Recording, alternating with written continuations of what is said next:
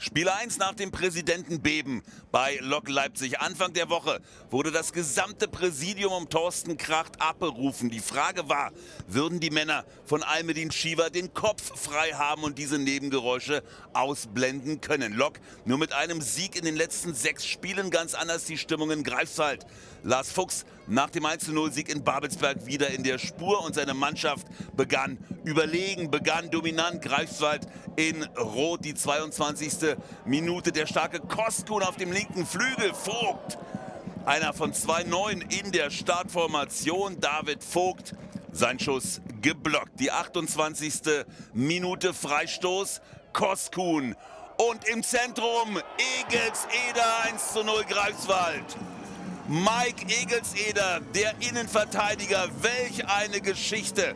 Vor der Saison war er von Lok Leipzig nach Greifswald gewechselt. Am ersten Spieltag hatte er sein einziges Tor in dieser Saison erzielt und jetzt trifft er gegen den Ex-Verein. Toller Freistoß auch von Koskun, gutes Kopfballspiel von Egelseder, die Führung für Greifswald hoch verdient. Und die Norddeutschen wollten nachlegen, nur zwei Minuten später. Benjamina auf dem Flügel, Benjamina im Strafraum.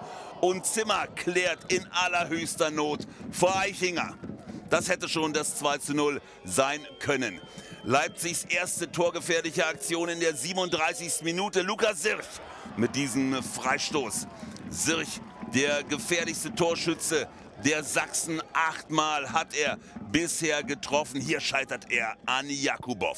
Der Torwart leitet dann auch die letzte Aktion der ersten Halbzeit ein. Wir sind schon in der Nachspielzeit. Kocher gibt den Ball raus auf den überragenden Koskun. Der hat den Kopf oben und findet David Vogt 2 zu 0 Greifswald.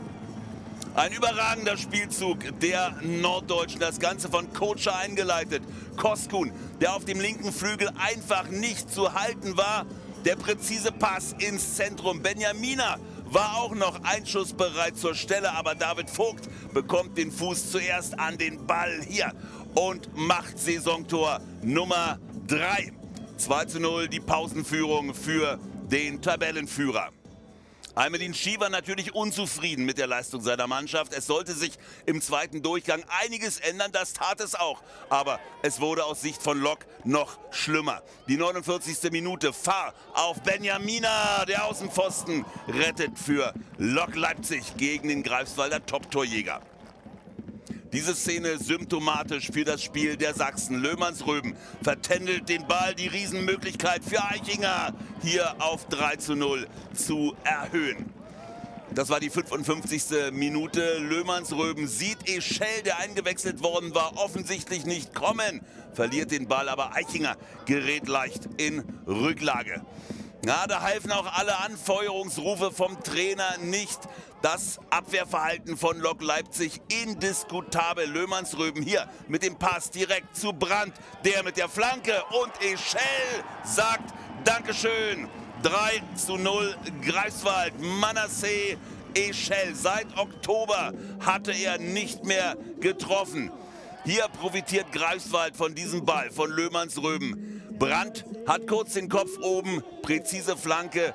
Eschel wird nur begleitet, aber nicht gestört und hat gar keine Mühe, das Tor zu machen.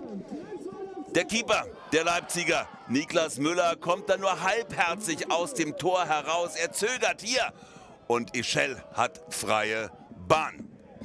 Es spielte nur der Tabellenführer. Greifswald machte, was es wollte. Der starke Koskun vorbei an Löhmanns Röben. Pass ins Zentrum. Niklas Müller in allerhöchster Not. Erst Benjamina, dann Manske. Und der Keeper der Leipziger hält diesen Ball. Die 77. Minute. Greifswald diesmal über den rechten Flügel. Vogt, Vogt und Manasseh Ischel ausgerechnet der von Chemie Leipzig gekommene Stürmer mit dem Doppelpack. Aber das Abwehrverhalten von Lok viel kritisiert. Das wird hier nochmal deutlich. Vogt marschiert da durch den Strafraum wie im Training. Und Manasseh Ischel im 5-Meter-Raum, Mutterseelen allein. Da ist kein einziger Blauer, der den Stürmer der Greifswalder irgendwie markiert. Und aus einem Meter schiebt da einfach so ein Manasseh Ischel und der Doppelpack. Lok Leipzig mit einer indiskutablen Vorstellung, der große Traditionsverein in einer schweren Krise. Mit so viel Angst zu spielen, äh, ja, dann, dann verlierst du 4-0. Ja. Und erst, erst nach dem 1-0 anfangen äh, mit Ball äh, sich anzubieten und zu machen und tun. Das heißt nicht, die, die wollen sich nicht bewegen, sondern einfach, man hat einfach gesehen, dass die im Kopf so blockiert sind und, und aber mit so viel Angst, ich habe die bis jetzt noch nie gesehen, dass sie und das, das ist für mich schon erklärlich. In den letzten Tagen gab es nur noch Berichte über das eine Thema. Ich glaube, es wurde nicht einmal berichtet, dass äh, wir heute beim Tabellenersten spielen. Deswegen, das kriegt man als Spieler auch zu 100 Prozent mit. Klar muss man es versuchen auszublenden, weil wir sind die Sportler, die auf dem Platz stehen, die die Punkte holen müssen. Wir wollten das Sportliche ja, ein bisschen mal wieder unter Kontrolle kriegen, sage ich mal. Haben wir uns schon wieder vergeigt, so ehrlich muss man sein.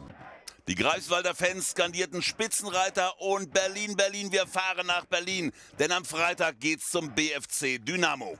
Klar, mit einem guten Gefühl kann man immer nach Berlin fahren. Äh, wir wissen, es wird nicht so schwer in Berlin. Und äh, wir werden uns gut vorbereiten und dann gucken, was am Freitag passiert. Ja, für uns war wichtig, heute drei Punkte einzufahren, um nächste Woche ein absolutes Topspiel zu haben. Und ja, das ist uns gelungen. Und jetzt können wir nächste Woche nach Berlin fahren und dann schauen wir mal, was wir da machen. Der erste beim zweiten. Greifswald fährt zum BFC Dynamo Freitag ab 19 Uhr live bei Ostsport TV.